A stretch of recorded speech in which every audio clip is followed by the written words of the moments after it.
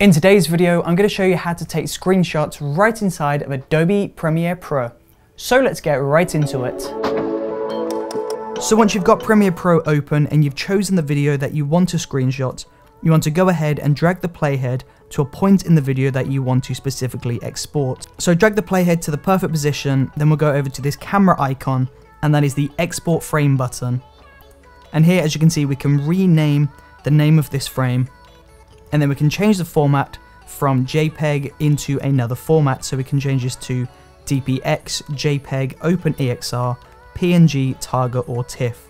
But for now, we'll select JPEG because that's the most common format out of this entire list. So we'll select JPEG and if we press the browse button, then we can change the destination path of this freeze frame, but I'm happy with it on the desktop, so we'll press OK.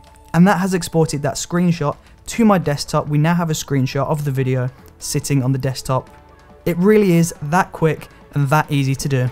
And there you go. If you enjoyed watching this video, then please do let me know in that comment section below. And don't forget to subscribe, check out the previous video, and I will see you tomorrow for another brand new video. Thank you for watching.